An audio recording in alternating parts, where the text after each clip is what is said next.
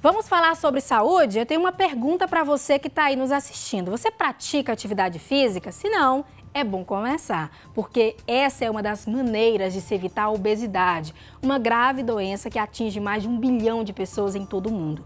Os dados são ainda mais alarmantes em relação às crianças e adolescentes. De acordo com a Organização Mundial de Saúde, de 1990 a 2022, os índices de obesidade cresceram quatro vezes nessa parcela da população.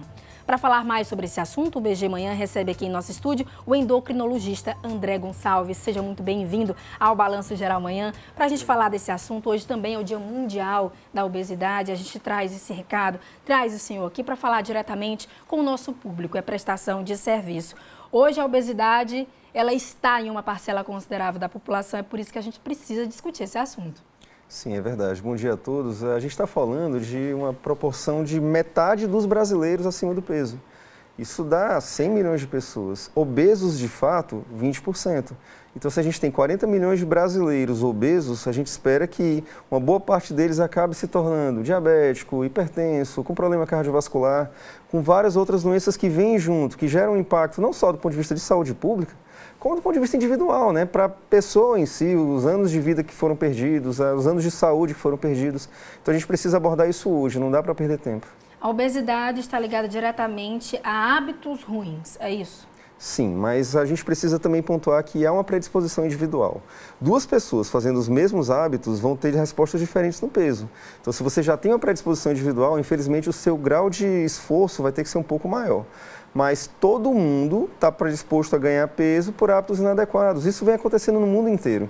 Quanto mais sedentários nós somos, quanto mais adeptos de alimentos ultraprocessados, hipercalóricos, ricos em gordura, em sal, em açúcar, mais propensos à obesidade e suas doenças nós estamos. O que a gente observa hoje é uma tendência a uma vida mais saudável. Isso tem virado tendência, a gente tem acompanhado isso nas redes sociais, no âmbito nacional e também mundial. Isso é algo muito positivo, né? Sim. São pessoas respondendo ativamente contra a obesidade.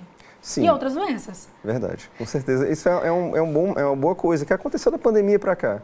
As pessoas meio que estão buscando mais estilo de vida saudável, de buscar fazer atividade física, até porque isso é, gera uma boa imagem em redes sociais. Então as pessoas têm realmente buscado isso. Mas ao mesmo tempo a gente precisa é, avançar em outras áreas. As mesmas pessoas que usam as redes sociais para mostrar que estão na academia, logo em seguida usam os aplicativos para buscar comida industrializada, para buscar fast food.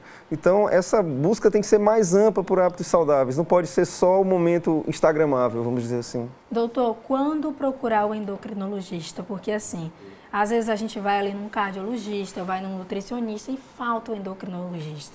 É preciso visitar o endocrinologista. É, como a gente tem uma prevalência muito grande de obesidade, de pacientes sem risco para obesidade, o endocrinologista é um médico é, preparado para esse tipo de tratamento. O tratamento desse paciente realmente é multidisciplinar, então ele precisa mesmo do nutricionista, precisa às vezes do psicólogo, do preparador físico e às vezes tem outras doenças como as que o cardiologista trata. Mas qualquer pessoa que se perceba acima do peso, que tem história familiar de obesidade ou dessas doenças relacionadas à obesidade, deveria sim procurar um endócrino.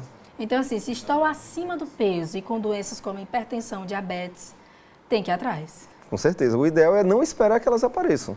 Se você percebe que está em risco de ganho de peso, é hora de já se cuidar. É muito mais fácil tratar antes que a doença apareça. Tem exames que você precisa estar tá fazendo aí. A rotina é de seis em seis meses. Que exames são esses? É muito individual. Tem aquele paciente de baixo risco, jovem, que não tem nenhuma doença diagnosticada, se ele está bem, foi examinado e os seus exames de glicose, colesterol, a medida da pressão arterial, exames de fígado, rim estão normais, às vezes basta uma vez por ano, de dois em dois anos. Agora, aquele paciente que não se cuida, que está sedentário, que fuma, que bebe em excesso, esse às vezes precisa de um acompanhamento bem mais próximo. Quem tem diabetes às vezes precisa ir todo mês no consultório. Então, vai depender muito do que o paciente tem. Doutor, para quem já está nesse quadro de obesidade, nos assiste aqui, como sair disso? É difícil, mas é possível. É, hoje em dia a gente tem vários tratamentos que são eficazes para obesidade, que são seguros para uso no longo prazo. Acho que a primeira coisa que a gente precisa em, em, na, nas mídias é desmistificar o tratamento de obesidade. Muitas vezes as pessoas têm vergonha, se sentem estigmatizadas porque são tratadas como obesas. Mas se a gente trata desde o início, se acolhe de forma adequada e oferece o que nós temos de arsenal terapêutico hoje para obesidade, a probabilidade dessa doença progredir é muito menor. Quando é que a bariátrica entra?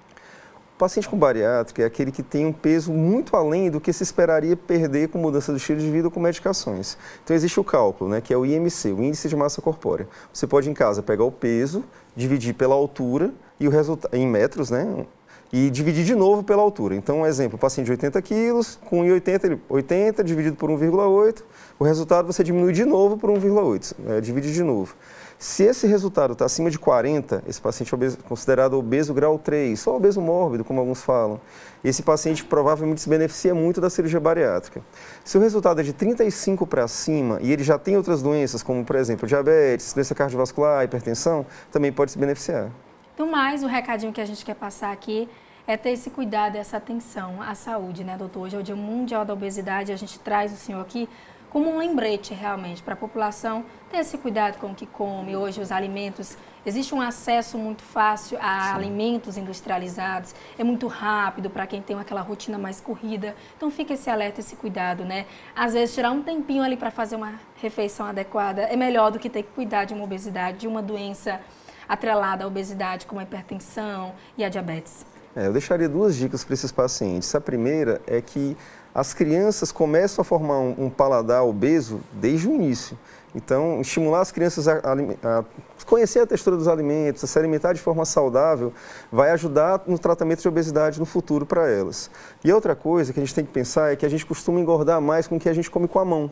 Então, quando você a senta à mesa, usa talheres, tudo, em geral, aquela alimentação tende a ser mais saudável do que aquela que você pega com a mão, que às vezes você é, não tem noção do quanto está comendo. Às vezes você começa a catar as coisinhas e pensa que comeu, sei lá, quatro amendoins e quando vai ver comeu 15. Então, sentar à mesa, comer com talheres e não comer com a mão em qualquer lugar ajuda também nessa, nesse controle das calorias. É, dicas valiosas. A gente agradece demais, doutor, a sua presença aqui no nosso estúdio. Muito obrigada pelo tempo e pelos esclarecimentos. O senhor é sempre bem-vindo a voltar aqui ao Beijo de Manhã. Para mim é um prazer, obrigado. Aí, gente, essa foi a nossa entrevista de hoje. Lembrando que vai constar lá no nosso Instagram, bgmanhã.pi e também no YouTube, TV Antena 10, combinado?